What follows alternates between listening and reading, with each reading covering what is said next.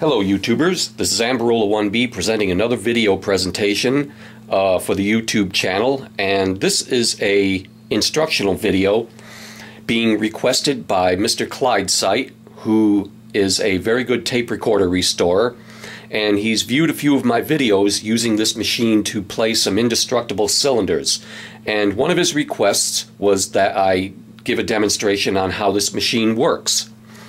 This is not an official Edison opera phonograph. I bought this on eBay from a seller in New York, and he had it as it is being presented here in a reproduction opera case with an Amberola 1A mechanism.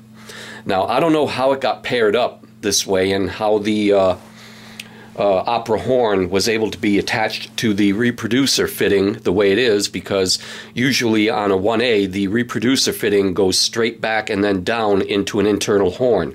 But somehow it got paired up with this I'm assuming it's a reproduction opera horn.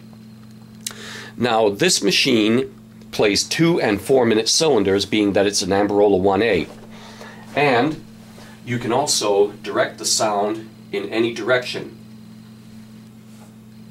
the horn is made out of paneled mahogany veneer and it is glued together with a wooden ring wrapped around the outside of the horn to hold the, the uh, panels together and a metal ring in the back to hold the back end of the panels together. And the wooden horn is inserted and clipped into this wooden, wood-grained metal horn elbow. The horn is removed just by merely lifting it up. And I'm not sure how much it weighs, probably about two pounds, maybe a pound and a half, two pounds. It's very light so that it can swivel back and forth. Otherwise, as Clydesight indicated, that if it was very, very heavy, the whole machine might tip over. In the back here, we have a view of the speed control which will vary the speed of the cylinders so that you can get it exactly at 160 RPMs. And if you're not exactly at 160, you can also judge the speed of the cylinder by the uh, sound of the person's voice. Say you're used to hearing Billy Murray on a Victor 78, and if you're playing a Billy Murray cylinder, either four or two minute cylinder, you can always adjust the speed so that you can get his voice to sound just right. And over here we have the two and four minute gearing knob. Now the difference between the Edison Music Master horn and the Edison Signet horn is that the Music Master horn is attached to the back end of the reproducer carriage in such a way that it adds no extra weight to the reproducer as it's tracking the record. The record is only tracked by the weight of the tail weight that the stylus is attached to, and it's not all that much. So you don't have a lot of wear on the records. However, instead of taking the carriage assembly apart on my Opera, I've decided to show you the reproducer carriage and the feed screw and half nut on my Edison Home Model A, the later Model A. Now, this is the reproducer carriage. As you can see, it moves across the record while the mandrel stays stationary. And if I was to lower the reproducer cueing device onto the record, you will see over here that the half nut bar and the half nut will engage into the feed screw and as it turns the half nut travels across the feed screw which is attached to the reproducer carriage thus allowing the reproducer to move across the record and track the grooves of the record. Here it is in a little bit of a close-up.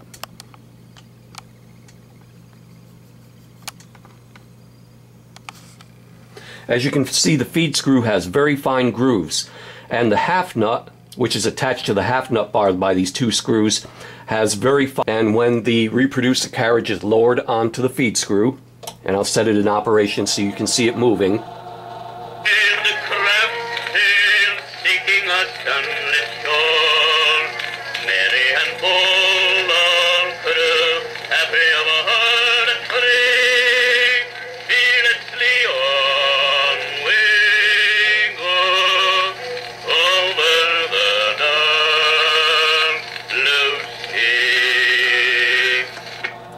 Can see that the half nut tracks across the feed screw, thus allowing the reproducer carriage to track the grooves of the record.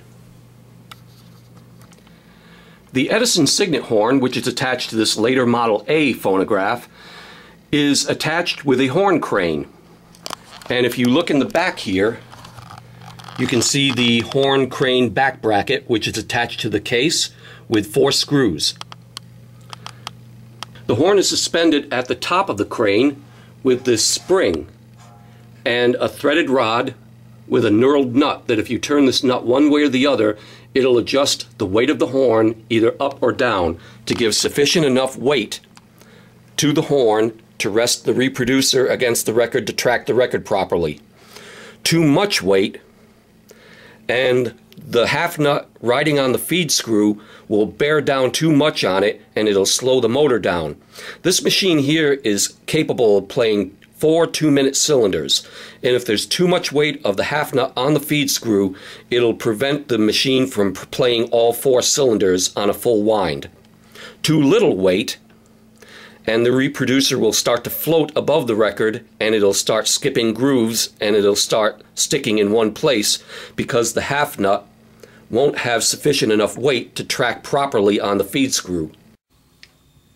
Now as I stated, even though there was an adjustment on the horn crane for the signet horns to adjust the proper tension that was needed on the half nut to guide it across the feed screw, some Edison machines even had a little set screw adjustment back here that you could turn in either direction to force the half nut down on the feed screw or to lift it off, depending on what downward pressure you needed to guide it across the feed screw. And on other Edison machines, it didn't have this feature, but it merely had this piece of spring metal which you had to bend down or upward depending on how uh, it needed to be adjusted.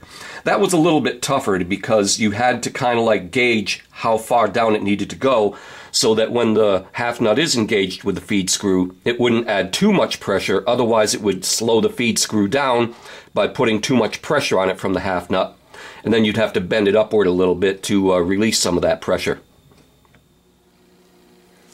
Okay, here we see the opera mechanism out of its case. Here we see the winding crank, the arbor. Now behind the arbor, behind this casting, is a small gear which meshes with this larger gear, which in turn turns this rough-toothed gear here, which is permanently attached to this first spring barrel. And when the winding arbor turns this gear here, it turns the barrel and in turn turns both mainsprings to wind them up to release energy to uh, run the motor. Now if I come in close here, you can see this rough-toothed gear which is permanently attached to the spring barrel and behind it here is what's called a winding pawl. Now if I turn the crank a little bit you can see the edge of the winding pawl here and as you see the pawl toggles back and forth. The other side of this pawl has a, has a uh, pointed edge just like this one and what it does is, is it grabs one of the teeth of this rough-toothed gear here and prevents the gear from unwinding the spring barrels after you've wound them up because you don't want them to unwind quickly in the other direction or you'll release all that energy too quickly and then the uh, motor won't run. So what happens is, is that pawl toggles back and forth as the spring is being wound and after you're through winding it, it grabs that gear and prevents it from unwinding before you're ready to release the energy to the record. Okay, on the other side of the spring barrel mechanism, we see the gear train. Now this big bull gear here is attached to the second spring barrel with some screws. And this big gear here meshes with this smaller gear on this first shaft.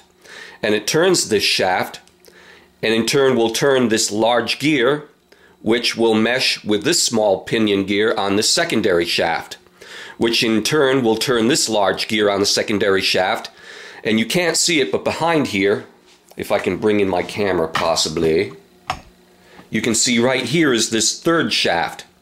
And it has a small pinion gear back here, which is turned by this gear on the secondary shaft. And it turns this very fine-toothed gear here on the third shaft, which in turn turns a very, very tiny pinion gear on the governor shaft, which in turn turns the pulley on the third shaft where the leather belt is attached and goes through a slot through the bed plate to the top part of the mechanism to turn the pulley up there to turn the mandrel to play the record, which will be picked up by the reproducer. Now, how this all works, and I will show you this in a second as soon as I uh, wind up the motor a little bit. Let me bring back over here just so I can show you how this works. Now this spring barrel is stationary. It is permanently attached to the shaft of the casting with a, a, rod that goes through both spring barrels. And this spring barrel is the one that turns when the motor is being unwound. This, this spring barrel also turns, but it doesn't turn when the motor is playing and the spring is unwinding. So I'm going to show you how this operates. You will see this spring barrel turn and this one stays stationary. But when the motor is unwinding, this one turns and this one stays stationary. But there are springs, very wide main springs in both barrels. So here's how the operation takes place. This spring barrel, and so since I've, after I've wound it sufficiently, I will release the brake and you will see the left hand spring barrel move, but the right hand spring barrel won't. But both springs inside the spring barrels are unwinding.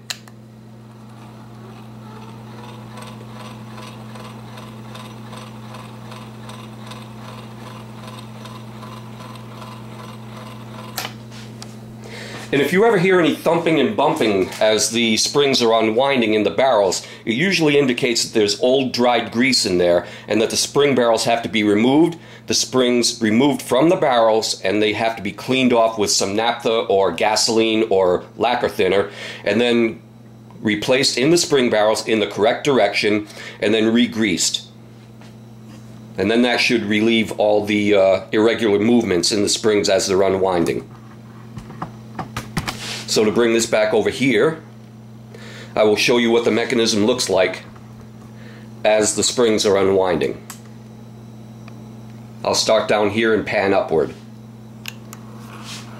So as you can see, the large bull gear is turning and thus turning this smaller gear here, which in turn turns this large gear on the same shaft, which in turn turns this small gear. I'll put a little more light up here which in turn on the same shaft turns this gear, which turns this small pinion gear on the third shaft, which in turn turns this fine-toothed brass gear on that third shaft, which in turn turns this very tiny pinion gear on the governor shaft, which turns this pulley gear with the belt attached to it, which turns the pulley on top of the mechanism, which turns the mandrel and allows energy to, to uh, play the record. Now, when the governor is at rest, the governor springs and weights are close to each other and close to the shaft in which they are attached. This is a friction disc, a brass friction disc. This is a little stirrup. I don't know what you would call it, but I refer to it as a stirrup with two felt or leather pads attached to them, which in turn press up against the friction disc when the brake is released and energy is released. This friction disc will move towards this way a little bit, up against these little pads, which are free floating right now, but once this uh, governor shaft is in motion, this disc will push this way, and it'll push up against these discs, these pads, thus regulating the speed of the governor. Now, if these pads through the governor speed adjustment screw on top of the mechanism were uh, adjusted and they were made to move further away, then when the brake is released, the governor would move faster. If they were moved towards this way and the brake is released, the governor would move slower, thus moving the mandrel slower. So here I'm going to show you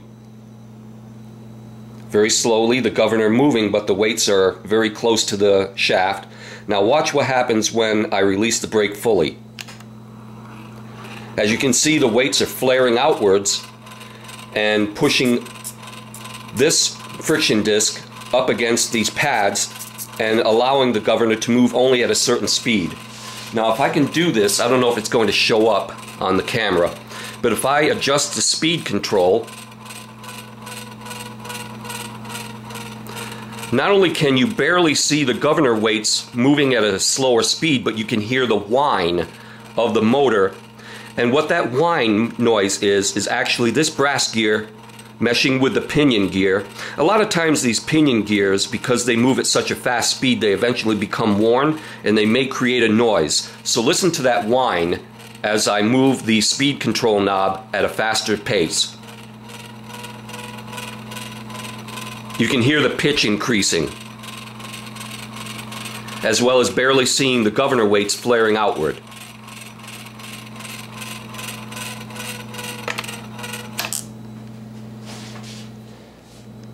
Here we see a slightly different angle of the gear train mechanism showing the two pulleys. The one that is below the bed plate attached to the casting and the one that is above the bed plate. Here we see the belt which drives the mechanism and this little pulley wheel here which is kind of like a tension wheel. If this wheel wasn't here the uh, mechanism would have trouble playing the records at a constant speed. A lot of old cylinder, uh, cylinder phonographs have this little tension wheel which has a spring attached to it back here which allows the mechanism to uh, stay attached to the belt thus adding a little pressure so that it'll play at a constant steady speed. Some smaller inexpensive uh, phonographs like the uh, Columbia Model Q doesn't have that little pulley wheel it just has a straight belt but the belt is so tight and taut that it keeps the constant speed of the motor unwinding, and thus there's you know not a lot of wow and flutter, or if any at all, uh, on the record while it's playing. So here would be the mechanism on this side.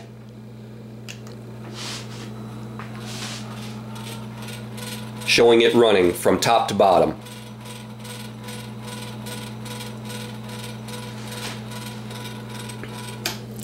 Now the belts on these mechanisms are usually tapered on both ends when you're attaching them, and the best way to attach them is with contact cement. Put a little dab on each side of the belt, roughing up each end before you uh, put the glue on it, and then once the glue is set, what I do is I loop the belt around both pulleys and try to attach it either onto the top or the bottom pulley and then make it nice and tight and then hold it there for a few seconds until the glue is set. That way you get a nice tight grip on the belt after it has been attached. And here is the uh, the splice. I know it's not coming out very well, but there's the splice. Here we see the upper part of the gear train, part of the mechanism. Down here we see the large drive gear for the feed screw. We see this pair of gears here which are permanently attached to one another this gear here, the smaller one, is when it's in place with the drive gear for the mandrel shaft, plays the two minute cylinders. When this gear is moved over to this gear here, it will play the four minute cylinders. Now what happens is the mandrel plays and turns at the same speed for two and four minute cylinders. It's merely the feed screw that changes the speed when it's going to play the to, to keep up with the spacing of the grooves on the record. And the grooves on the feed screw are spaced the same distance apart as the grooves on the record.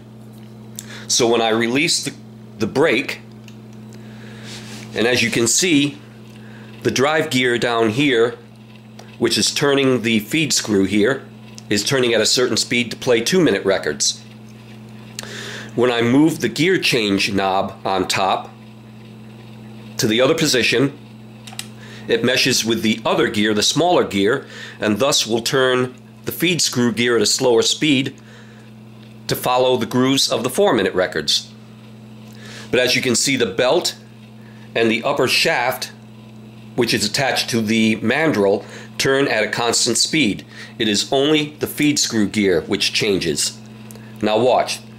The belt and the upper shaft will move at, the, at a constant speed, Nothing changes there, just the feed screw.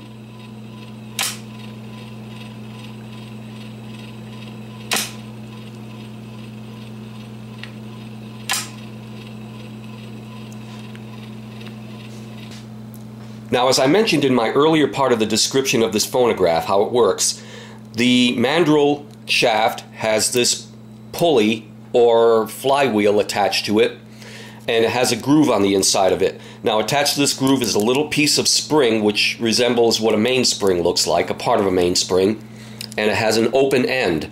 Now, this little flap here is the part that stops the mechanism when you're playing records with the auto stop. And down here is the little nipple that activates the auto stop so that when it is activated, and it's not very easily seen,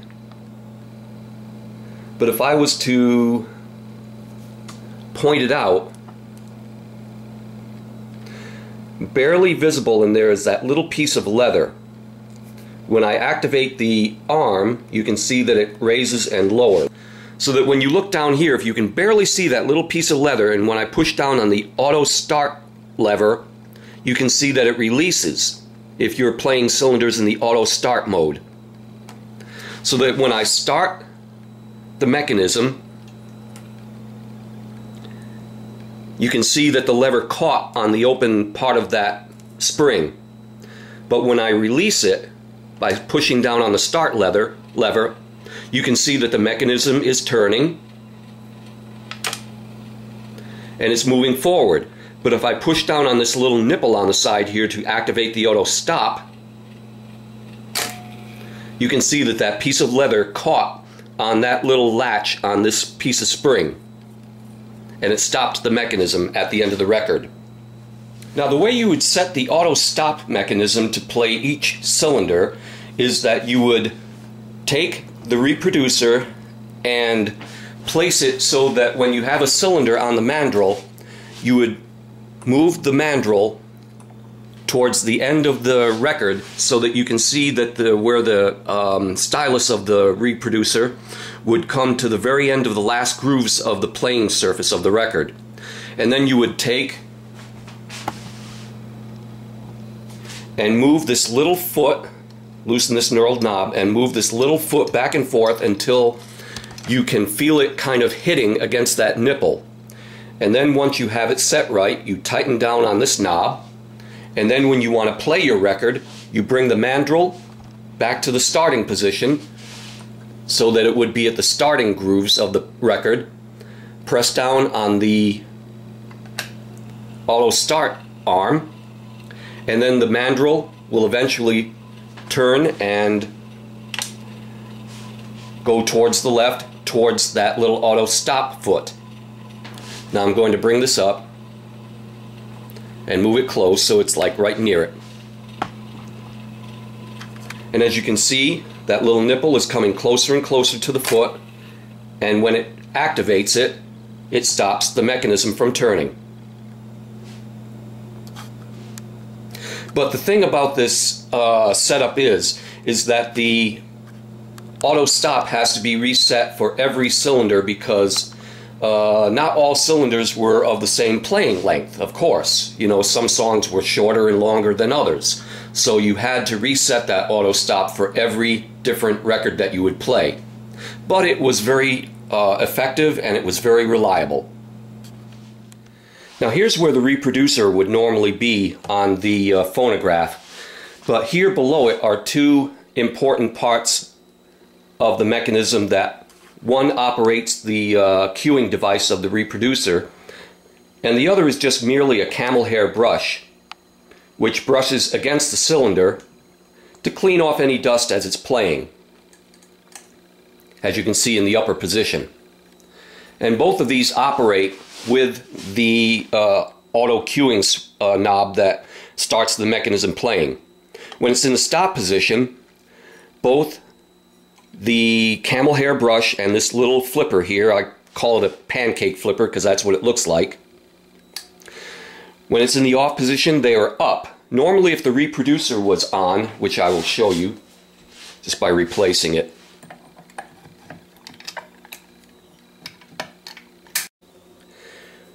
With the reproducer in place, you can see that this piece of bent metal which is attached to the tail weight is up on top of this little flipper here. So that when you start the mechanism, in motion start using the starting lever, this little flipper will move down and allow the tail weight to come in contact with the record, thus playing the record. So here's how it works.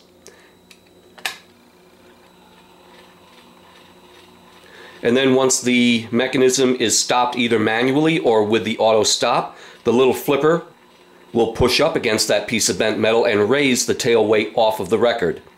Thus, you can move the mandrel back and forth to uh, either cue the record up or to remove the record. So here's how it works in the stopped position. And now you're safely able to move the record across the mandrel without the stylus scraping across it. Here we see the Model M reproducer. The components of the Model M reproducer are the body of the reproducer. The underside we see the tail weight, the stylus bar with the 2 and 4 minute stylus on it, the stylus turnover bar, the bearings on the front and the back to hold the stylus bar turnover device in place, and a little spring which allows the turnover bar to stay in place, otherwise it would kind of flap back and forth. And we see the little cueing piece of metal, the little cueing device. And this is a little piece of metal which is welded into the tail weight to keep the tail weight from going any further down than it needs to. And we see the other end of the stylus turnover bar here with a number 2 and 4 on it to denote the stylus that would be in place when you're playing a record. Now, right here we see barely visible a little pin that goes through the stylus turnover bar to keep the stylus bar in place. But as you can see, that the pin doesn't hinder its movement and that you can move when the tail weight is moved up and down, the stylus can move up and down with it. And you get that little bit of leeway there because sometimes the records were a little might have a little out of roundness to them and a little irregularity. So the stylus has to have a little movement, a little free movement. Otherwise, the purpose of this is just to um, allow the tail weight to move up and down on the record as it's being played. Barely visible inside here, attaching the stylus bar to the diaphragm, is a little piece of cord, a little wax cord, which is attached to a loop on the stylus bar and to a loop on the diaphragm. Now it's not very visible there, so I have this Model O reproducer, which is uh, just a, uh, a part of one. And you can see the um, little loop in the middle of the diaphragm. This is a brass diaphragm, or copper diaphragm rather. And you can see that little loop there, which the wax cord attaches to, which attaches to the stylus bar. And here we see the retaining ring, which is threaded and you can see these two little notches here which you can uh, insert a device to turn it to either tighten or loosen the retaining ring onto the reproducer housing. And apart from the diaphragm there are two rubber gaskets in here, one above and below the diaphragm to hold it in place so that you can adjust it so it won't touch the edges, the metal edges of the reproducer housing or the retaining ring. And plus there's another retaining ring underneath this which just adds as a spacer.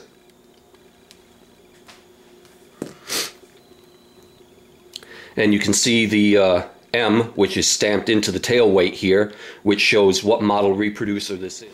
Here we see a few other components of what a Model O reproducer contains and what is also similar to the Model M reproducer of the Opera.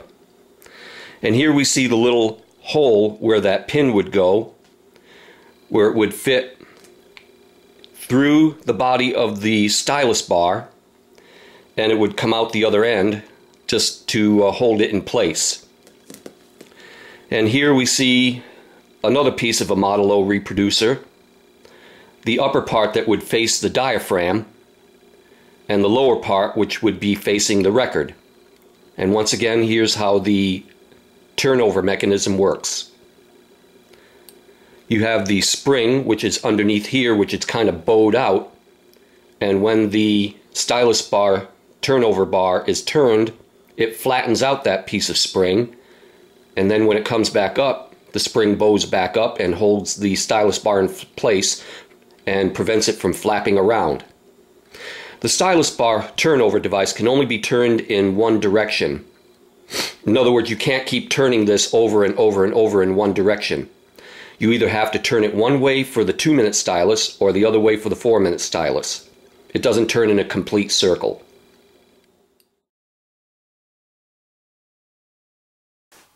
Alright, now with the Amberola 1A mechanism back in its case, I'm going to end this video by playing a cylinder, a 4-minute cylinder, by Billy Jones and chorus called Cristoforo Colombo on an Edison 4-minute Blue Amberola cylinder number 5008.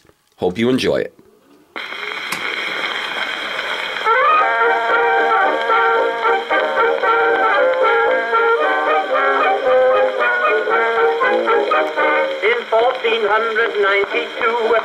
From Italy came running down the streets of Spain, the yelling, "Hot tamale!" Colombo went before the king to ask for ships and cargo. I'm sure a poor exploring man if I can't find Chicago. Oh, Christopher Colombo, he thought the world was round, oh, that persevering, buccaneering sailor man Colombo.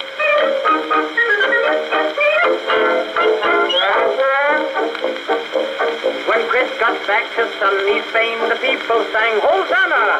Colombo said, We're glad we're back, but we have no banana. Colombo came from Italy, he stole rice and confetti. He taught the Queen of Spain the way to goggle her spaghetti. Oh, Christopher Colombo, he thought the world was round, oh, that rootin' tootin' highfalutin sailor man Colombo.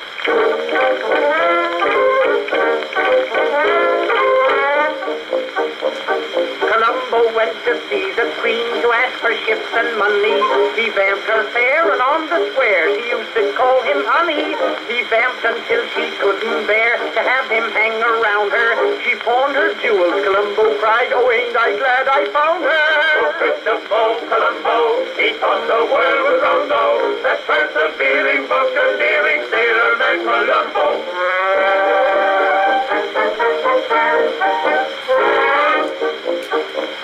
One day the sailors came to Chris to go home was their notion. But Chris cried, land is near, I saw the bottles in the ocean. Columbo cried, when land they spied, my men, we sure are lucky. We'll soon be drinking juleps down in Louisville, Kentucky. Oh, Christopher Columbo, he thought the world was round, oh, that rootin' tootin' highfalutin sailor man Colombo.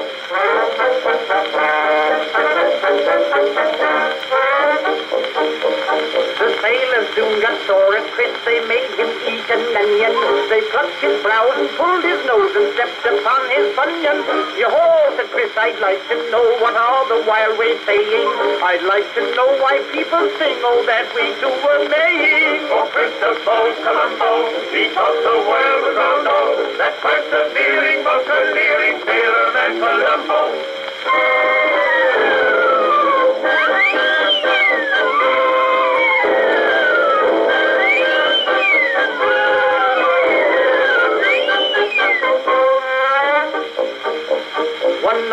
Storm came rushing up, it was a powerful breeze.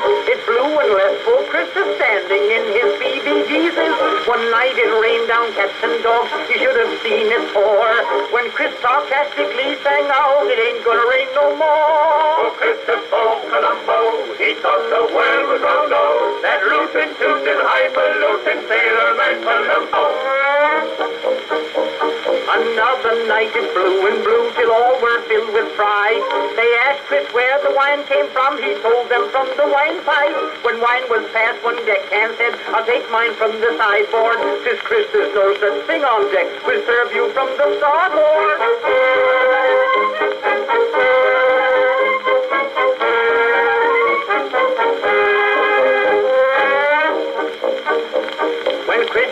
Landed on our coast, he saw the Indians mean. Colombo saw a husky and cried, God save the Queen. Oh, Christopher Colombo, he thought the world was round, oh, that persevering, buccaneering sailor man Colombo. Before Chris started out, to sail, he spliced himself in marriage. And when poor Chris returned to Spain, he had to push it to Garrett. Mama! Christopher Colombo, he thought the world was round, oh, that rootin' tootin' highfalutin sailor man Colombo.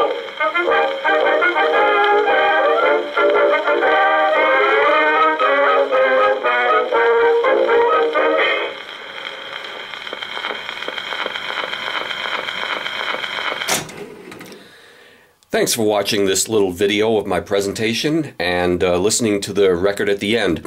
If you'll notice near the end of the record, he messed up one of his lines to the song, and instead of saying he saw a husky squaw and cried, God save the Queen, he goes, a husky quaw and scried, God save the Queen. Play it over again and listen, you'll find out what I mean. All right. All right, YouTubers, this is Amberola 1B signing off. Bye bye.